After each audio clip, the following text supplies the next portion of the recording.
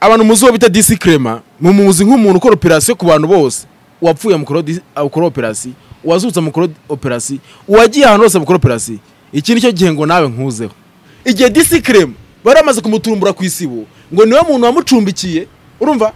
Amaze kumucumbikira birangira disi krema yamucumbikiye ngo agiye ngo agenda yibye amasahani ya baba erega ninjya avuga ngo warasebye ujye ubyemera ko wasebye. Niba utari gusobanukirwa neza ndi kubwira uyu muntu bita disi krema byarangiye none akoze akakoryo aho yagiye akajya mu gakinjiro akabazisha ikintu bitanga igikombe. Sabe ugeze umwana muri abukwe nta wari urimo. butahe. Niba se ataratumiwe eh, eh, yihuruze. Ushobora kwibaza impamvu atamutumiye kandi ari umunyamakuru mugenzi we? Su- susana amagambo yawe uzamurwa bugambo ngo ntabwo ari kuri generasiyo zimwe. Iyo ari kumukegeta inkuru ntabwo uri kuyibona. Urumva? Abantu mwabonye cita hariya hantu nk'umunyamakuru. Abenshi banavuga yuko ari umukozi wa sabe biravugwa hanze ko iraca n'ucita akoreshwa urumva? Iraca n'ucita akoresha niyo bita sabe. Disikire mu bakigesa abandi bantu nanjye reka ngo ukegete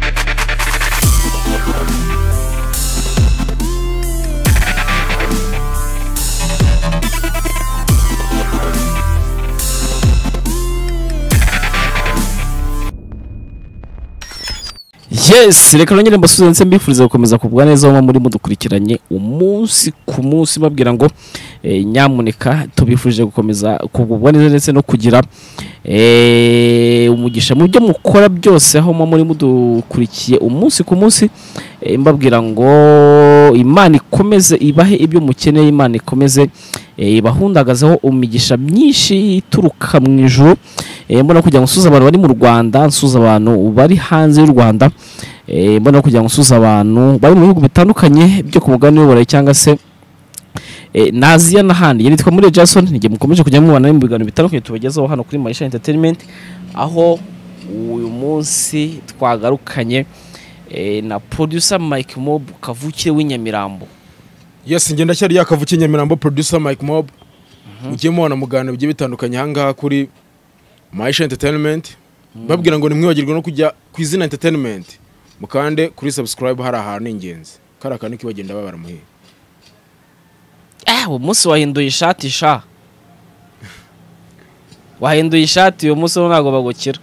Buriya iyo umuntu agiye kuvuga ngo imyenda yawe ngo uyihoramo kandi atayikugurira buriya ngiye mfite ukuntu mbibona mfite ukuntu mbibona nyine ku rundi ruhande. Eh.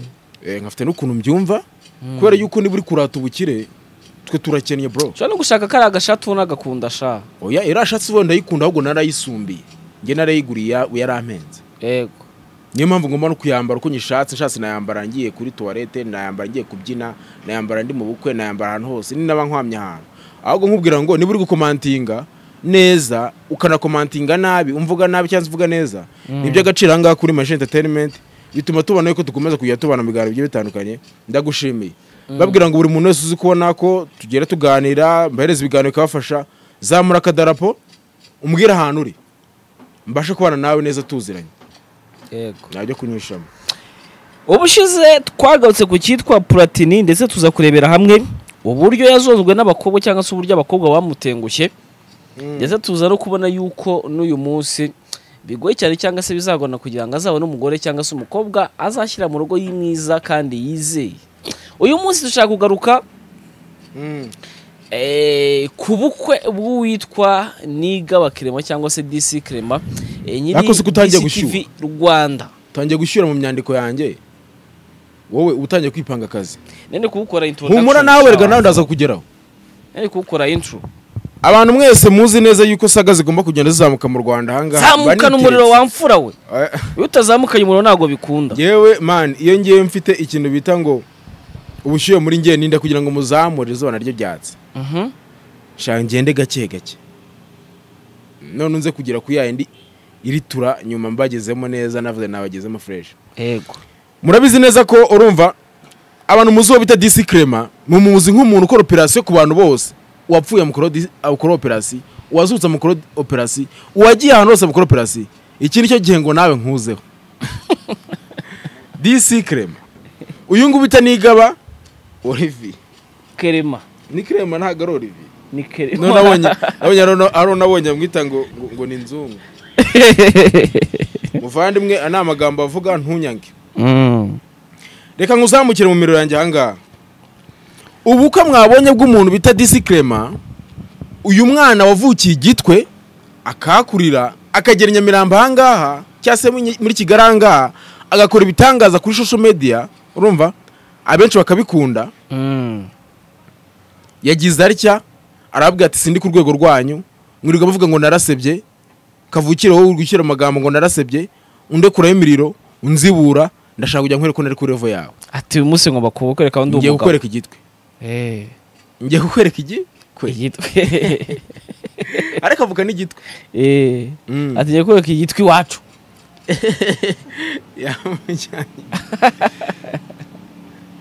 reka tuzamukiranga ubuse ndahera y'inkuru ndashaka kugira ngo ngende njya mvuga inkuru mujye mumenya yuko ngende njya kuvuga inkuru. Ntabwo ndaza ndata ubukwe bwa disikrema njye ndaza ahubwo mvuga ibintu byabaye mu bukwe mutigeze mubwirwa n'abandi bantu. Kubera ko ibinyamakuru byose bigiye kwandika bijya mu mujyi wa ba bantu b'inshuti zabo kandi nakubwiye ko abantu b'abanyamakuru njye bari mu bantu bampemukiye.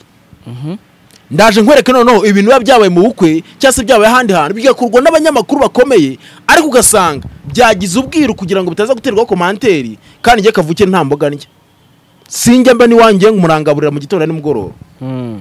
ubukwe abantu mwabonye bitabiremo hari ahantu iyo bukwe disikrema mbanze mbabwire yabukoranye eh, disikrema ubundi mbere ya byose ni umwana wavukiye igitwe akaba ari mu myaka mirongo itatu n'itanu eh, ni makumyabiri n'umunani na mirongo itatu. Eh, aho ngaho hagati na hagati. akaba ubukwe n'umukobwa bita ngo Ariane Manzi uyu ni umwana rwose ngo ni uw'umusheshetafaranga iwabo ngo rirameneka. Mm. urumva? Nawe rwose bivuga ko imyaka ye barigana sha? Oya ntago wavuga gutyo gihe si ujya ubwira ntago navuga ibyo bintu mpamvu ryawe ni hagati ya mirongo itatu n'itanu ngo kuzamura. Niko amakuru nakuye ku muhanda yambwiraga. Kuko nujya kugereranya wenda imyaka itanu imyaka nyine irimo hagati y'ikinyuranyo cyangwa se icumi oya umva ngiye nkubwira amagambo ndi kuvuga n'abagiye bavuga ku muhanda ahangaha Eh, ngo buriya ngo disikirema ngo ngo hari ukuntu ngo wamuruta Eh, niyo magambo numvisha abantu baragenda bavuga. Rero abantu mutazi neza uyu mukobwa manzi Ariane ni umukobwa urumva witabiriye irushanwa rya Miss Rwanda mu mwaka wa bibiri na makumyabiri na kabiri urumva aviramo mu majonjora. Ibaze sha. Ubwo ubwiza bwe ntago babukemanze ari benshi. ubwo bivuga ngo harya bashingira ku muco ubwiza ubwo nyine basanze nyine nta kirimo umuco ubwiza n'ubwenge. Ariko nyine ibyo ntabwo byamuje kugira ngo umukobwa abe businessman. Kuko uyu mukobwa nawe urumva yariteretse ku mifungo nta kintu bazamubwira kuko uyu mukobwa bara ngo ni umukiri nyamirambo ahangaha urumva ngo afite ikintu bita amakenkayori ateye ubwoba ahangaha. Ngo arakegeta kakava amafaranga. Nawe ni umushishitafaranga urumva? Yego. Rero ndashaka kugira ngo nkubwire urumva ibintu byabaye muri ubu bukwe bwiwe abantu batigeze babwira kandi nzamura n'imiriro y'impamvu yagiye ibyo bintu bitaba. Cyangwa se ibyo bintu byagiye bibamo aho ngaho. Ngiye sinzi kurya imbaga. Wabonye yuko mu bukwe bwiwe umuntu wari MC niwo bita Lion. Sibyo uyu Lion Manzi mu cyo bita Guma Guma yego. Atwika ahantu hose yimanukira ni we muntu wifashe akarekura imero ku muntu bita Grace aramuhagurukira amuvuga amagambo atari meza yagiye akora imyaka n'imyaka kugira ngo bagaragaze ukuntu Grace ari umuntu umwe mu bantu basebye. Urumva? Hari harimo uwo bita ngo bahavu uyu nguyu wabaye pasiteri yego. Nawe yari arimo yariteretse kuko yari mu bantu bambaye. Harimo n'ubita isimbi modo. Yego. Uzwi mu cyo bita ngo kigali besi ngo bosi bebies abo ni abamwambariye ni umukobwa nyine si ubukwe bwa bwa Eh, eh. ubwo nyine bwa bukwe bwa nabonye diskrema mbona bwiza sha. Na bwiza yari yiteretse n'abari kumwe. Eh, Eh, n'uyu nguyu bita ngo ni ngo Lydia nawe namubonye yari arimo. Harimo nyine na- n'abafata ku mavuta. Ariko ndakubwira utuntu humura. Ndakubwira hari ibintu utaramenyaho aha hantu. Mm. Mm, njye ntabwo nzi kurya imboga. Mbonamo uwo bita babu kandi uyu nguyu bita babu yaranamuzibuye. Urumva? Yakoze ibiganiro rwose byirenga bibiri amuzibura avuga ukuntu baba atari umuntu ushoboye urumva? Avuga ko adashoboye sinzi wenda nakumvisha ngaha ngaha mwumvishe ngiye sinzi kurya imboga mani Mm. ariko bitewe n'umutima mwiza cyangwa se ndetse nabyita kwigaragaza neza mani cyane iby'umutima mwiza buriya kuko ah, hari ikiganiro numvishe arimo aramuzibura rwose arifata ritereka aravuga ati ntabwo uri kuri yo kugira ngo ujye gukora mu isibo. Kuko murabizi neza ko Disi Clement ni umuntu wakoze ku isibo ndetse ava ku isibo bamwirukanye. Nubwo wagenda avuga ngo yahavuye neza ngiye ntabihamya kuko amakuru njyema nifitiye ahangaha buriya wihishe ntabwo waza ngo uhishe muri kavukire bizagukundira umva ahangaha n'uwo bita- bita Disi Clement arimo arazibura uwo bita baba. Ikiganiro buri mwana wari wese agira inzozi zo gukoramo. Ntabwo ari ikiganiro cyoroshye. Rero kugishyiramo ngo ngo risaba na rinda ukagishyiramo ngo babu ubundi nk'abariya bakaba baje kubatekeramo imireti. Baza gutubusamo amagi koko ubundi bu- nka nka babu we. Yenda nuko azi gucinya inkoro cyane. Ariko yakagombye kuba ari mu- babyinnyi ba kinyarwanda. Hari ahantu bita intoraguramayugi bamwe b'abana bagenda cyangwa se muri futuboro hari abana batwaza handibodi yakagombye kuba ari ba bana batwaza ibikapu ba firi ariko se kanabishoboye yewe. Ariko si umuntu ukoza muri sande coyi si umuntu ukoza muri sande coyi street urakoze cyane ndakeka wabyumvishe. Aho yavuze ati n'intoragura amayogi ariko bikarenga no kwitanga k'umuntu bita babu yisanze mu bukwe bwe kandi ndetse yanagiyeyo. Binavugwa yuko uyu nguyu babu urumva? Niwe muntu urumva? Igihe disikiremu bari bamaze kumutumbura ku isibo ngo ni we muntu wamucumbikiye urumva? Amaze kumucumbikira birangira disikiremu bamucumbikiye. Ngo agiye ngo agenda yibye amasahani ya babu. Ngo arayajyana ngo birazwi rwose. Kuko buriya no magambo philip itajya akoresha urumva? Avuga abanyamakuru bamukoreye cyangwa se bakoranye uwo bita disikire mu turumbura ntabwo ari ariko na- nanjye nasobanukiwe. Nese ubwo kinuza baramucumbikiye kuko reka ngusobanure neza ibintu byumve neza. Disikire buriya urumva? Disikare muri wacumbikiye babu. Reka ngusobanure inkuru nyiguhereze ku bwino hakiri kare. Eh. Wenda uyisobanukirwe neza. Uyu muntu bita disikirema uriya kwanza nyica inyuma urabizi neza ko mwakuranye ava aba- igitwe reka mbigusobanure neza kadasobanutse, disikirema kadasobanutse. ava iwabo igitwe reka mbigusobanure eya abantu usore kukana uvuze ko adasobanutse. Yego. ngo ngo disikare yacumbikiye babu ngo none ngo disikare ngo birangira ngo disikirema baramucumbikiye bamaze kumwirukana. Eh, niko navuze. Eh. reka ngusobanure neza ibintu byumve neza. Disikirema avukiye igitwe uyu nguyu yakoze ku kinyamakuru bita ngo umuryango tv urumva? Mm. agikoranaho nawe.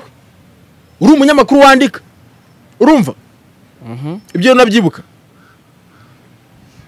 Ese ubwo niba gukorana n'umuntu ari ikibazo kirimo. Reka akose kudashaka kugira ngo ngenze bura urumva? Muhire ko wari uhari na cyo gihe wari uhari. Rega humura nanda kugera nese wari uri mu bukwe bwiwe ushaka humura ntabwo wari urimo. Ese ni ngombwa ngo nawe ndaje nguzi nese yarimo arazibura babo uri kubyumva ndabikumvishije. Ariko njye ntabwo ari ngombwa naho ubukwe bw'umuntu ni- niba niba atarama invitation ceceka winyirukansa ngende winyiruka- umufumbyi. Uri kunzana mu miriro yanjye nshyuye ntaragira icyo nkubwira. Mhm. Mu gukora ku kinyamakuru cy'umuryango tv yaje kuhava yerekeza ku cyo bita dc clement cano yiwe ya youtube. Urabizi neza ko iyi cano urumva yari imaze kugira abasabu ibihumbi mirongo itatu. Niwe muntu wayigurishije. Wowe ubwawe yarakwibwiriye ngo arashaka kugira igurisha ayigurisha miliyoni by'amanyarwanda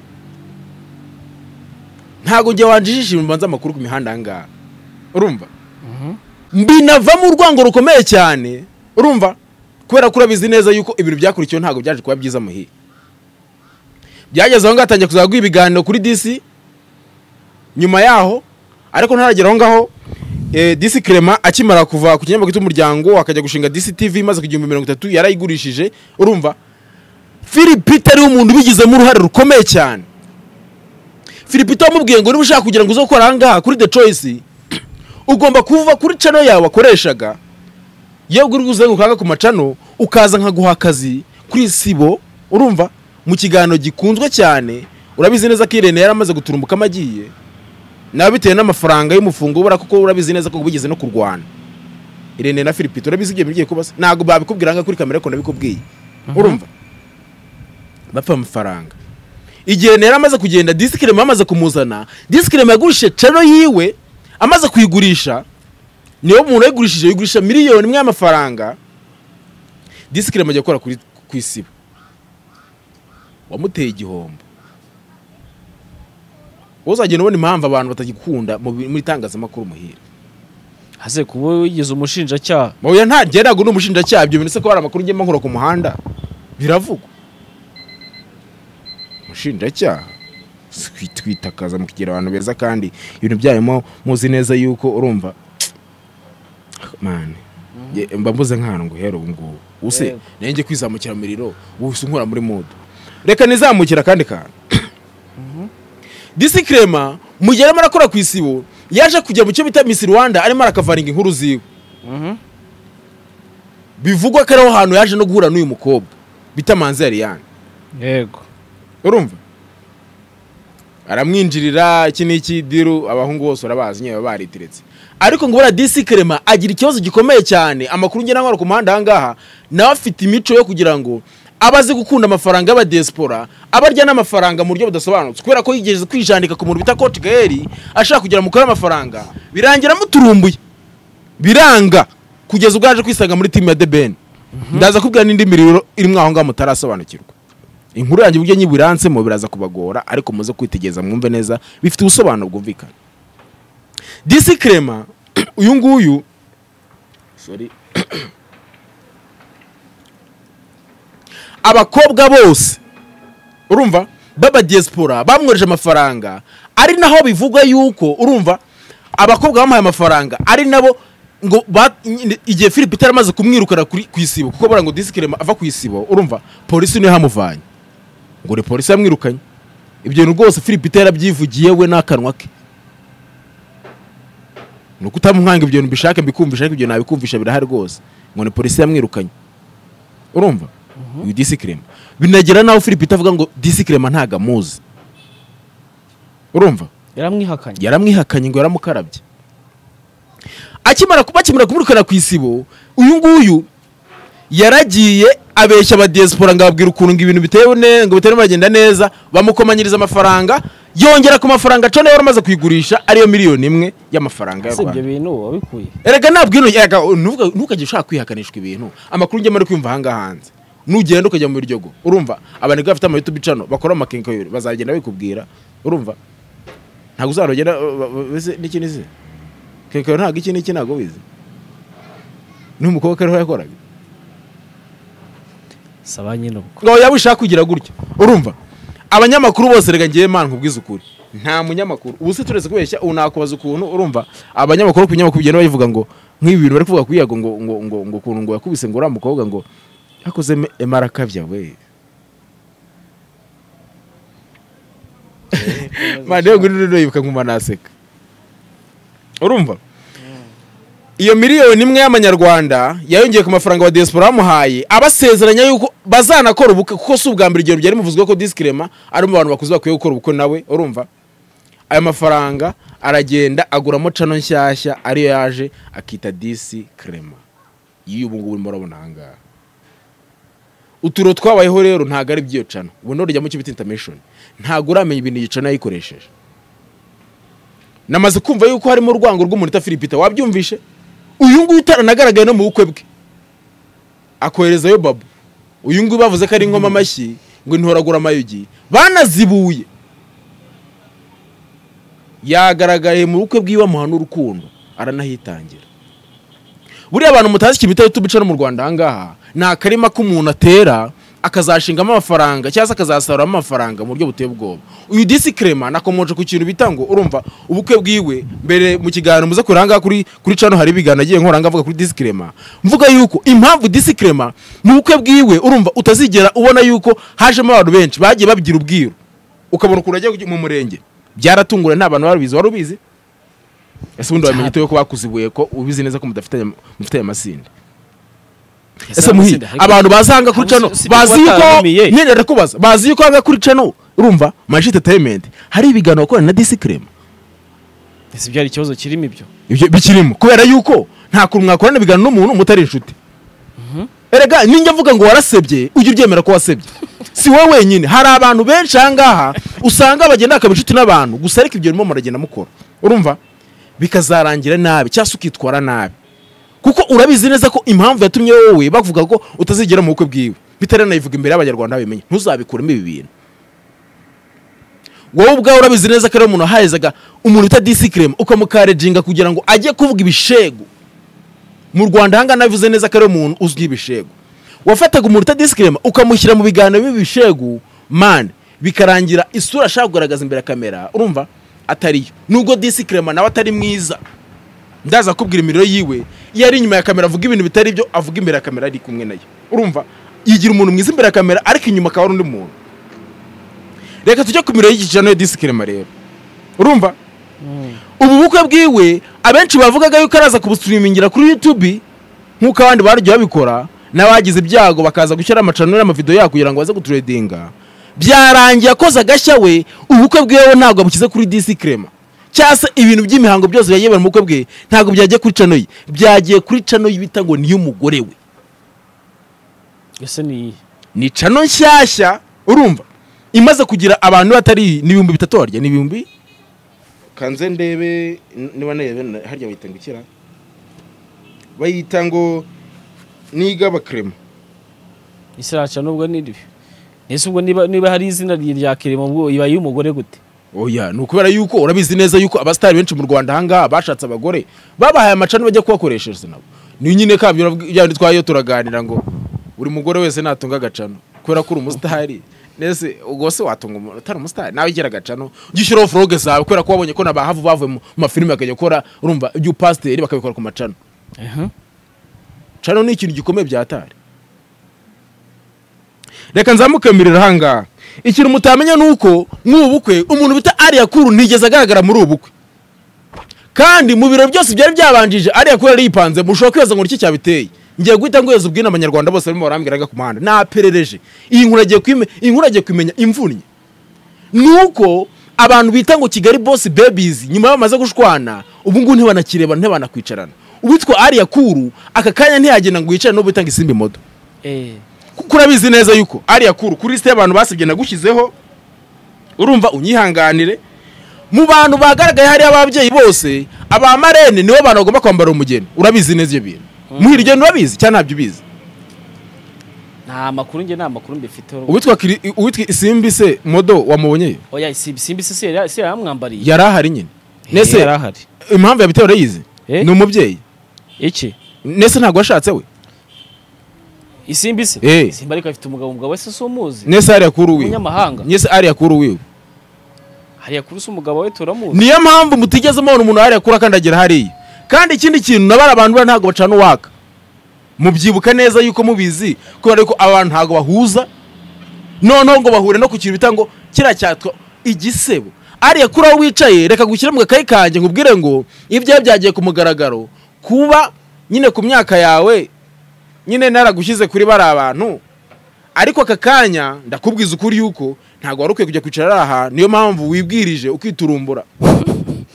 Niyaza mu bukwe. Nane se ugeze umuntu ese mpindi mpamvu yonyine? Ibindi biro byari byabanje bya disikirema se yari arimo? Oya icyumvikana cyo nuko nzi neza ko badacana uwaka. Ariko we na disikirema se? Nande oya isimbi isimbi hamwe na nuza na nari akuru. Eh, nzi neza ko badacana uwaka. Ntabwo bacana uwaka ariko urabizi neza yuko disikirema ni inshuti ye ari akuru. Akaba n'inshuti ya yinde ya isimbi moto. Urumva?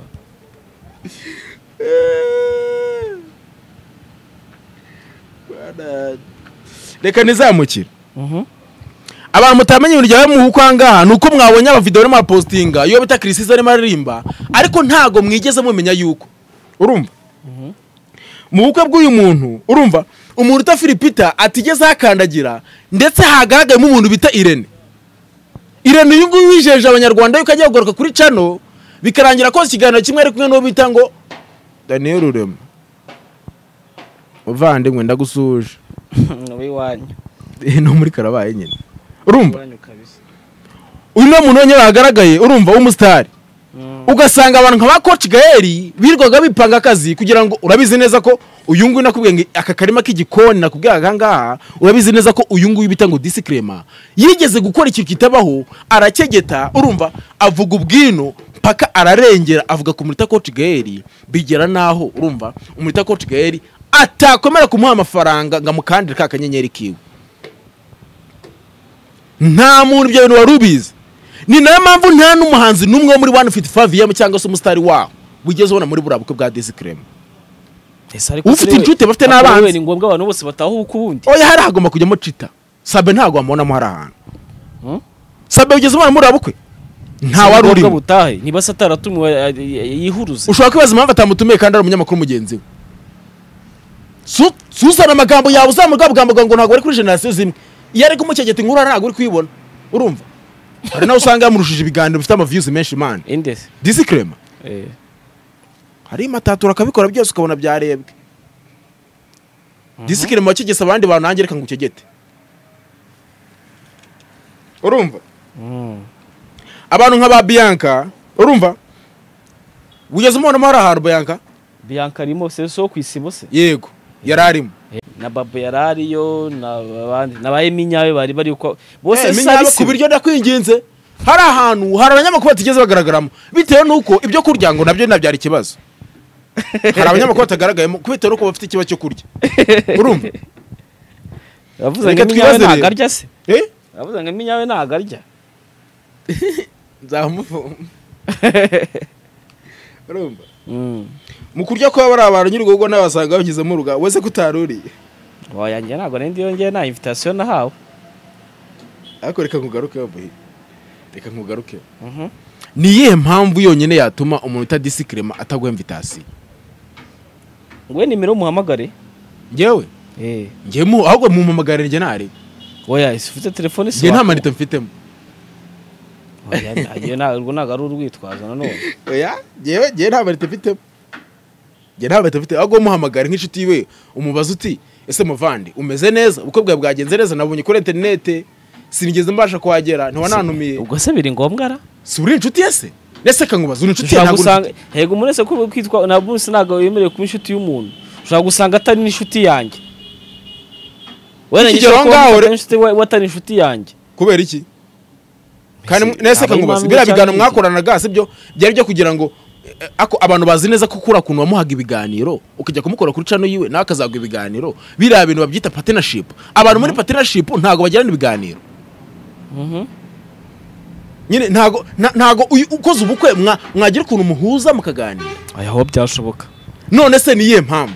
Ese wagiye wiregura imbere y'abantu ko ngiye nk'ubundi kugushinja yuko urumva? Wowe bakuziho ikiba cyo kurya cyane. Ntabwo ugeze ukandagira muri bukwe bwiwe. Ndetse bigeze bagutumira. Nyine ndakubaza bigeze oya abantu muze kunera amaguru. ntiwari nyine- uhari. Even ajya mu murenge ntiwari uhari. Bajya gusaba ntiwari uhari. Nyine Na- ibintu byose n'ubukwe no gutwerera n'ibiki byose yewe nta n'icupa rya wayini bigeze utekereza ko wamushyira. Kubera yuko mu gihe ibi ngibi nanze kubivuga mu gihe ntaragera mu bantu urumva mu gihe imihango harimo udukoryo twabaye mu bintu mu bintu bita gutanga inka cyangwa se byo- kugabira abantu. Urumva bari guhi- bari guhereza abantu. Ibyo ibi- iyo- hariya bita gutwikurura. Uriya muhango bita gutwikurura hariya. Uwuhe uba imihango yose uba ukwirangiye se? Eh. si ugutwikurura se? Eh, igihe nyine baratanga amagifite yabo bita ngo iki? Eh muri resebusiyo Eh, rezo batanga amagifite nyohereza abantu. Eh muri sindahagera. Tubanze tuve kuri icyo kintu tu- tube kiriya ndakwinginze. Mm. wowe ubwawe nk'umuntu urumva? Baziho urumva? Ko wakorana na disikrema aba ba romeo janvier mukaba mwari muri kuba igihe cyose. Haja romeo na janvier n'abantu bamwe. eh si umuntu umwe se. Eh eh. Mukaba mwari kumwe ibyo byose nyine mukora- mu- mu- mukorana. Bakajya kwimura abanyamakuru. Ukanamugurishiriza cano yiwe. Kugira ngo yikenure reka nkubaze reka nkubaze. Wishaka kubihakana reka ngenda bizi imihanda ahangaha mba mfite amakuru. Ngenda cyegeta. Si ubona ku mavuga ngo ukavukire ngo ikigoryi ngenda ikigoryi ariko ibintu byanjye nkora amana Se ko wasibye Nuke- nyine. nu- nureba neza. Eh, reka nkubaze. Ibintu ntabwo nabihanuye nkavuga ni disikrema nta bantu bose bazaba baretse bazajya mu bukwe bwiwe. Abafana bareyo ni abahe? Mbwira umuntu muri kira music wabonye hari ahantu ese ni ngombwa bajyeyo ndetse ntabwo ari inshuti zabo urabizi neza se ndetse kankubaza abantu b'abasitari hariya tuvugamo hariya wigeze ubona muri The Ben ntabwo yigeze inkoma amashyi yiwe ni ngombwa se ngo ajyeyo nyine ndakubaza ntabwo ari inkoma amashyi ya The Ben hari hari uwo bivuga ko azaba manager oya wizara amagambo wizana amagambo utangiye kwiregura ngenda nge utaku mana ikibo cyawe nge mvuye mu kiganiro ushaka kunyinjira mu mwandiko mana Ikomeza nese ko nsobanurira umbwira impamvu utagaragaye muri uriya bukwe Njye ntabwo natumiwe. Ntabwo okay impamvu utatumiwe rero bikubwira ahangaha ni ukubera yuko mu biganiro byose wagiye ukorera disikirema uri mu bantu bashaka kugira ngo bamwangirize izina. Njye ndazibura nawe nubwo turi kumwe ishumi yanjye na bosi wanjye urumva? Ntabwo natijya kukubwiza ukuri. Urumva? Bose ni wowe teka sha uzabaze ngo uzankandire n'akanyenyeri? Se Eh? Nkagukanda uri kumbwira amagambo nk'ayo. None se gereka ndazibura Komeza nyine, ukunda ibyo nkora urumva komeza unzibure nyine. Eh komeza unzibure. Ngo nimennye inda rero. Nanjye ko naza bro kwikatira. ngewe niyo wanyanga abadiyasipora bazankunda cyangwa se n'abanyarwanda bari mu rwanda n'akavukire ubwabo zizankunda. Zizankanda utunyenyeri. Nimero yanjye nyigarure mu mwandiko. Zeru karindwi umunani gatanu. Mirongo icyenda n'icyenda mirongo inani n'umunani mirongo itatu na kabiri. Warasebye. Narasebye nyine. Wese aho utasebye ni he? Baguturumbuye ba- izi ko n'abantu bari ku muryango hariya urumva? B'ababosi bari hariya ntabwo bari kwemera ko iyo sura bikandagira hariya. Kubera ko urabizi neza yuko mu gihe bari bari mu burundi hari ahantu urumva? Abantu mutazi yuko disikirema amaze kwipanga timu ikomeye cyane ya debeni ahangaha ari mu kizuru nawe urumva? Bikarangira ariko abenshi bavuga yuko ari kwihoma agenda yigira nkoma amashyi ya- debeni cyane. Mu gihe bari bari mu cyo bita GBZ hariya ngo iki kiyoga barimo baracyamamaza. Disikirema ntabwo wamubonye hariya. Yego yarasi yarariyo i Burundi yarariyo yari yipanze akazi. Igihe bari bagiye i burundi disikirema ngo yasanze bacite bahagaze ku muryango. Yinjira mbere yabo. Ni na yo mpamvu mu bukwe bwa disikirema nta n'umunyamakuru n'umwe abonye wahagurutse avuga ati ngenda gutwerereye. Ko bavuga ngo irene arazinguka ngo ni umuntu inshuti y'abantu yanitabira ubukwe bwiwe. Ugeze ari ikintu mu kandi? Hashobora gusanga yenda ay, atwerera. Ah, ah, ah, ifoto se? Akomana ibaze. Reka wenda ngaruka kuri iki kintu nkivuge ndi seriye uzi neza yuko iyo ubukwe bumaze kuba cyangwa se aba bantu bavuga ngo ni abasitari izi ko niyo ahaye umuntu igice cy'ijana gifotora. Akabyishyira kuri posite uzarebe bagiye gufasha umuntu bita ngo sikayito bahamagaza kamera bro. Kamera zikirukankana ba disikirema barugaje bose bakagenda biruka. None ngo ngo disikirema ngo bamutwerere. Ahubwo yakire disikirema inshuti zawe wazibonye. Uburyo wacitse kita urumva mukinjira muri kiriya kirori urumva. Cy'i Burundi ukurikiye the ben bitewe nuko bazi neza yuko ko kigali yamaze kukuzibura. Urumva byarangiye. Utakiri ku mwandiko. Uri kubishisha ngo badirama ngo badirama ngo kuru bamusekeje ntago bari barimo barabireba bari abaniga na nisa niyo mpamvu nta n'umwe ugeze ugutwerera bro. Mwicara kugira ngo mujye gutanga abantu ahangaha noneho ikintu cyantunguwe ni kimwe ndaje nyinjire mu imiriro ni abantu bamufashije ngo bakamuhereza ngo ngo bakamuha inka. Reka tuzamuke ku muntu wamuhaye inka. Disikire mu nguyu watekereje neza agakorera ibintu bitigezwe kurwa n'undi muntu ngenda nigira mu yanjye. Iki cyo kintu cyabaye gikomeye muri ubu bukwe kuri gutakumva gutanga inka. Reka igire nka breaking news abantu batari bazi. Ikintu bita gutanga inka. Habonetsemo umuntu witwa fata ku mavuta. Uyu benshi bita ngo ni fatasi uyu dj brian ngo yise ngo ni fata ku muhumetso. Ase Brian ko ko namubonyemo we. Oya ceceka ndakubwira nyine impamvu yabyo. Nese ntabwo ubizi neza. Muri operasiyo y'umuntu bita yagose byagenze bitewe brian se yari ari mu muryango mu- mu muryango we n'abari abantu yago urumva? Impamvu tugezemo muri biriya bintu ati, we ari ku rugamba ruteye ubwoba kandi brian nawe urwo rugamba nakubwiye yuko iyo uri kurwana urugamba nka ruriya mani baragusaba ngo wivemo. Yego. Si n'inshuti yabo. Urabizi neza? Disikirema ni inshuti ya, ya brian se? Ushobora gusanga ari inshuti ntabwo mbizi ngewe ubwo ni inshuti ya zekibi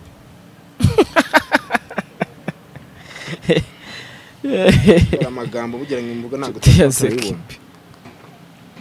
ahantu ufata ku mavuta yahagurutse akiterura akavuga ngo urumva? Ngewe ubwanjye ndebye ku banyamakuru bose twirirwa twirukankana. Iki ngiki cyarya wita ngo ngo ngo gikora kuri tivi iyo kivuga amagambo menshi kitandira gukora? Oya yarebye aravuga ati ngewe ubwanjye fata ku mavuta. Umuntu bita makaca murenze ubushobozi ahangaha ni maka. Ngewe ubwanjye fata ku mavuta. Umuntu witeretse kugeza n'ubwo ngenda nsohora amakuru abantu bakagenda banyanga operasiyo zose nakegese ngafata umuntu nka disikirema nkamukira ku gatebe ko kugira ngo akegete amaoperasiyo nguhaye inka. Si bizatahara icyo ugomba kutabibaza cya mbere ni cyo ngicyo nanjye kiri kubaza. Ese reka nkubaze. Mm. mu muhima. Mu muhima? Ndakubaza nyine mu muhima hariya mu muhima mbizi. Cyangwa mu gitego? Mu- nta muhima nta gitega eh. Nyine ndakubaza umuhanda ubwo bari ahantu hose hamwe. Mm. haruguru rw'inka ruhaba hari ahantu. Aya nta nka nzu nta nk'amazi Hmm? nta nk'amazi pe. Nta nkuhazi ni fata ku mavuta yiterura aravuga ngo njye nguhaye inka.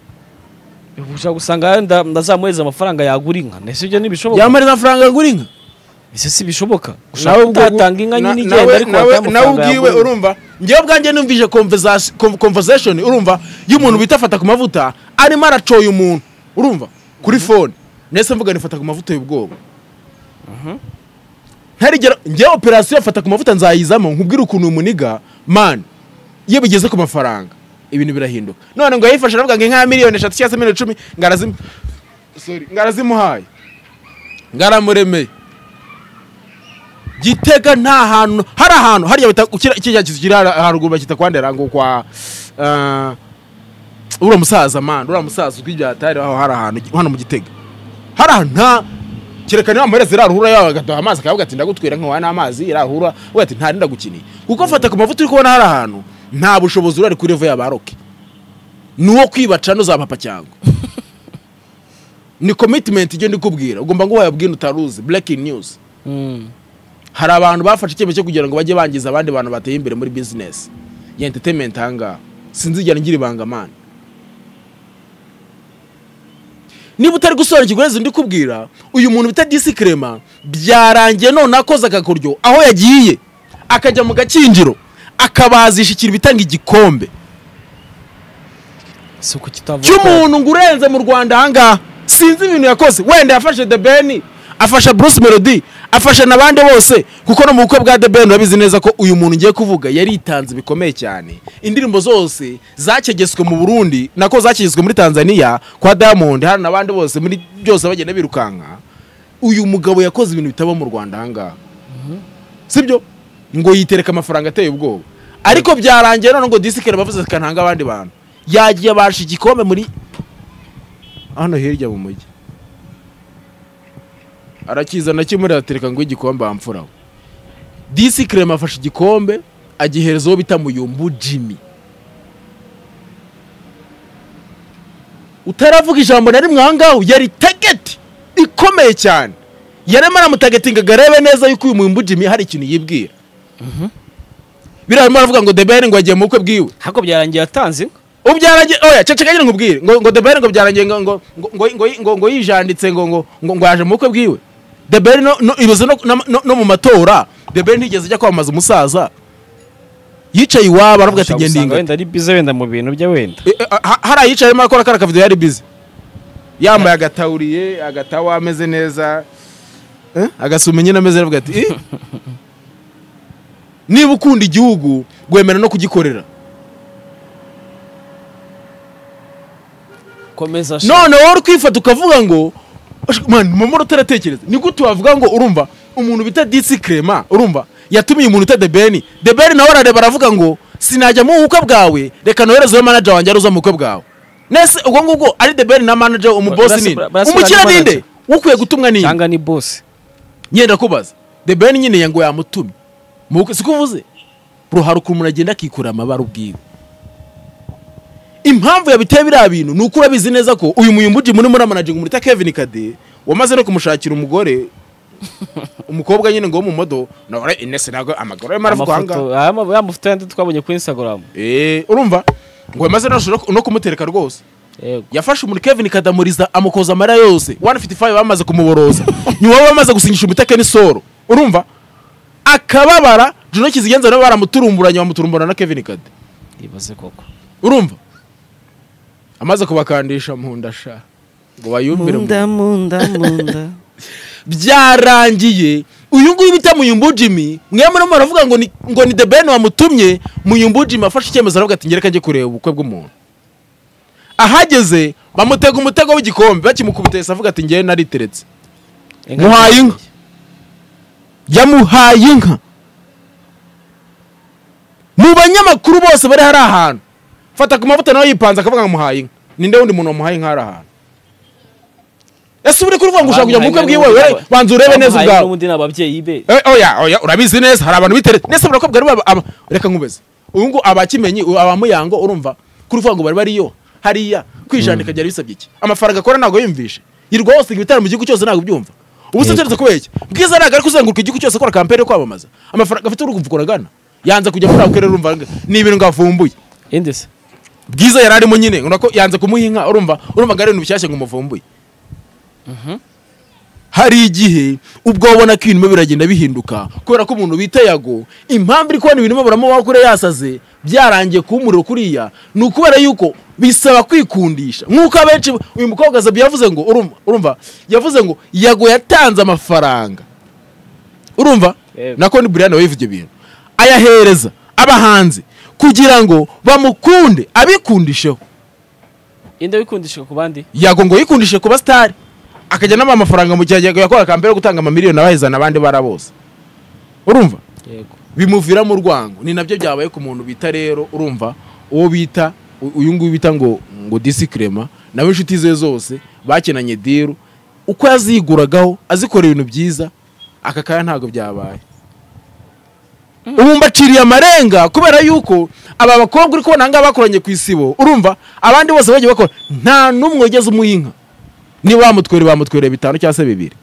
Izuba ryasanga nyamirambo ntabwo ubibona ese ibiganiro biganakora cyangwa nabikirebwa na nisaga ubwiza ukuri yuko. Iraca niyiwe nafata niba ubukwe bwe akabupostinga kuri youtube. Ntabwo abantu bari buze kubureba. Kuko uri kubona ko byarangiye. Wasebye disikirema ibintu ujya mu bwiru wenda uwo mukobwa sibyo? Manzi ukoranye ubukwe nawe ni umukobwa mwiza. Afite n'amafaranga. azasharinga bikunde. Ndetse ukajya kwica n'iyindi.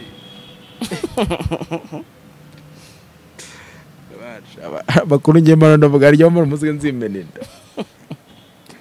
Njye ntabwo ntamikorega uzameneka njye sintamikwa niyo mpamvu mwabonye abanyamakuru bose bari hari ahantu ababipostinze ni bake ku ijana. Urumva? Abantu mwabonye cita hariya ahantu nk'umunyamakuru. Abenshi banavuga yuko ari ari umukozi wa sabe biravugwa hanze ko iraca n'ucita akoreshwa urumva? Iraca n'ucita akoresha niyo bita sabe. Urumva? Mm. nawe byavuze yuko hariya yagiyeho tumwe n'ubita sabe. Kandi sabe buriya ngo ntabwo no kuri voze imwe niko benshi bavuga.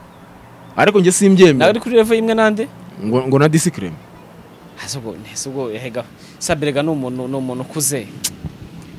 Mani Eh, nakubwiye ngo ujye kureba neza sabe ibiganiro sabe afite miliyoni subscribers nakubwiye ko ziriya sabe bazigura sinabikubwiye njyewe bwanjye yego. Uzareba ibiganiro akora urumva ureka butarimo arayingayinga.